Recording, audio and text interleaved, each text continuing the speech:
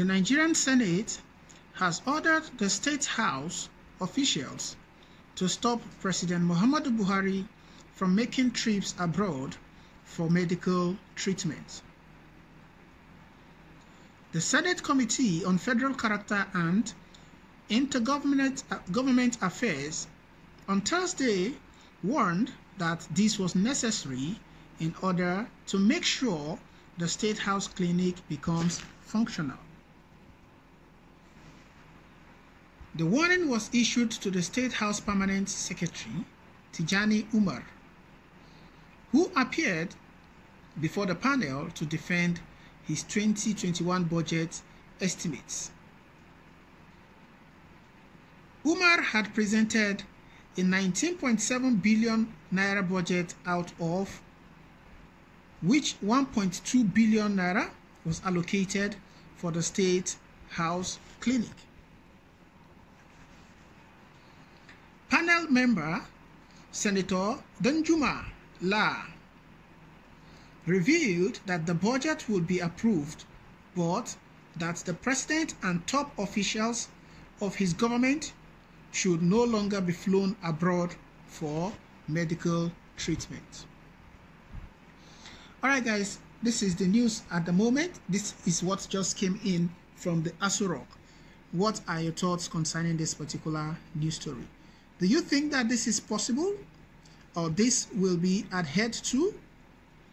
With the type of uh, government that is being run in Nigeria, with the type of leadership that is being run in Nigeria, do you think that it is possible? Currently, as we speak, Mamman Daura, the cousin to Mr. President, is still in the UK on medical uh, treatment or for medical leave, as it were. As we speak, the wife of Mr. President, Aisha Buhari, and her daughter, Zara, is outside the country, somewhere in Dubai, according to reports on medical uh, issues, as it were. All these are state-sponsored medical treatment bill or whatever travels as it is. I stand to be corrected if I'm wrong, but that is what the reports are telling us. Do you think that the senators can stop the president from traveling abroad on medical treatment? Well, it remains to be seen if that is going to happen.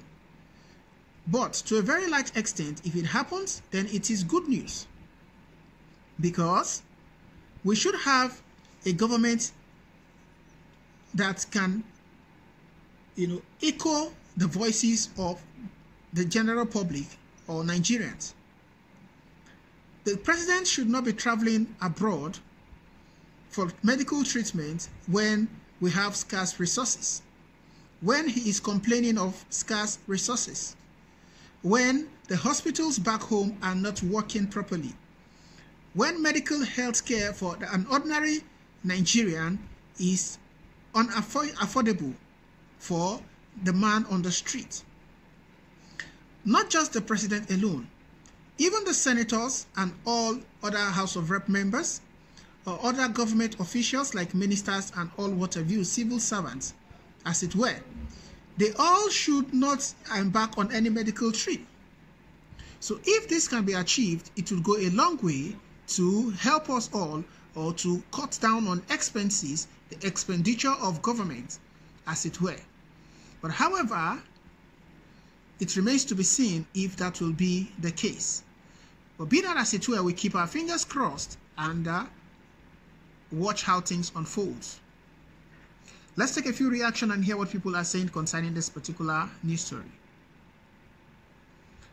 Somebody just said that the next protest will that will be coming soon shall be targeted towards the senators, House of Reps, governors, ministers, and the presidency.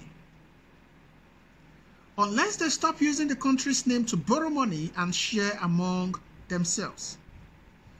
And also cuts down the take home of each senator to be 1 million naira monthly. We Nigerians are wiser now. They are sitting on their destinies of our children even yet unborn. This time they must pay with their lives until they fix the country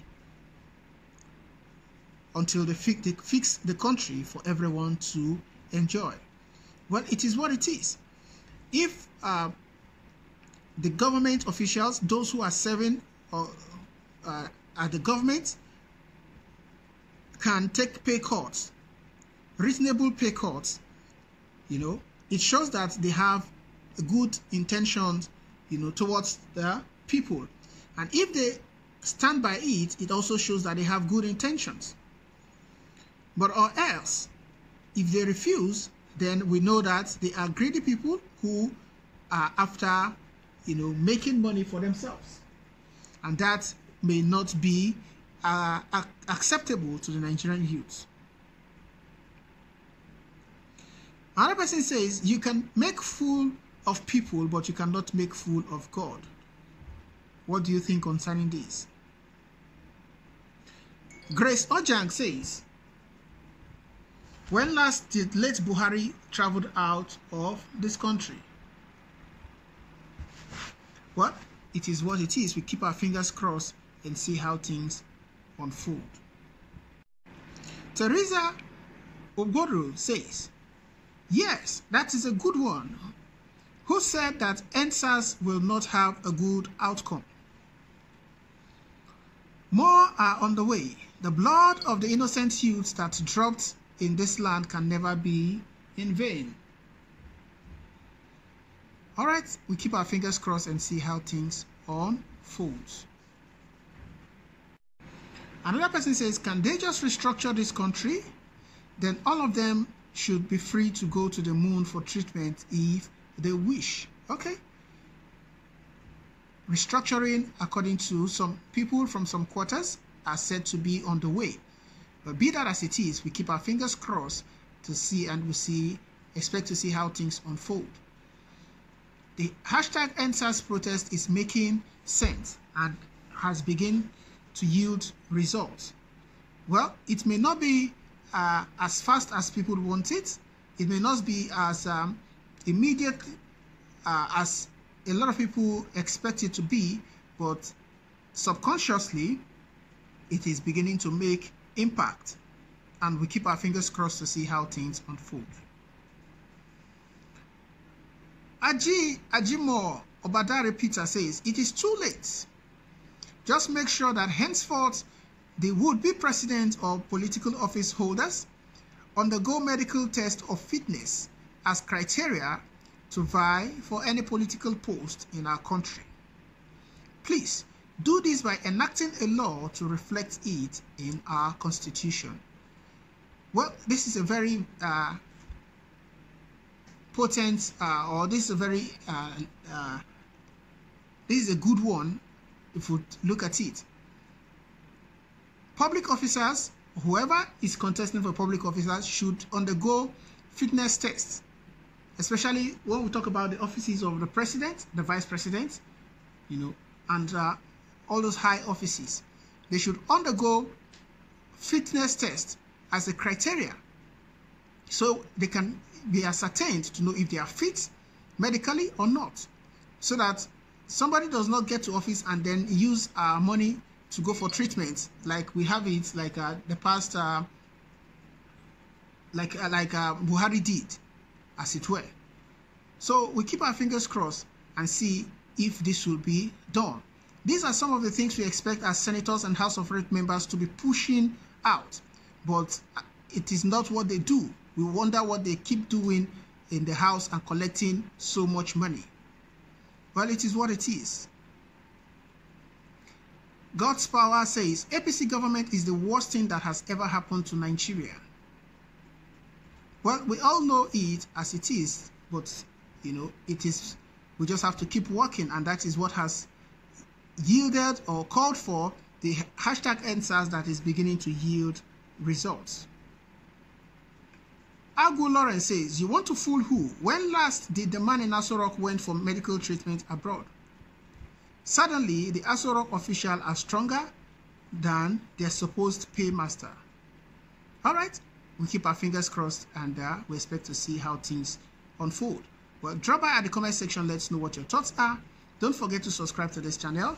Hit the bell icon so you can get notification whenever we post new stories.